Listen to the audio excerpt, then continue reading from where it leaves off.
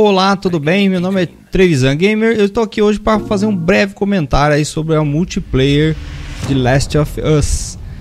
O jogo parece prometer muito, ah, principalmente na parte do multiplayer. As minhas impressões sobre este vídeo são muito boas, mas o que dá pra gente analisar é que é bem diferente do Uncharted, que era frenético, e aí a gente vai ter que utilizar a sabedoria e jogar mesmo em cooperativo porque senão não teremos efeito sobre o jogo. E aí temos que usar o que temos na, o que a gente tem na mochila.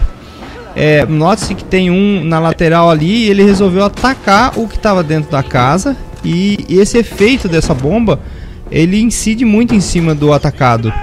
Do mesmo jeito que um tiro, no caso aí de 12, vai atrapalhar totalmente esse personagem e, e é lento, né? Vai ser uma chegada lenta. Aí podemos ver que vai ter também a parte de salvamento, de recuperar esses, é, recuperar o live. Vai ter aí bastante tipo de jo jogos diferentes, né? Com amigos que aceita tipos de, de, jo de jogos diferentes no multiplayer. E realmente vai ter que ser jogado em cooperativo para poder ganhar aquela facção.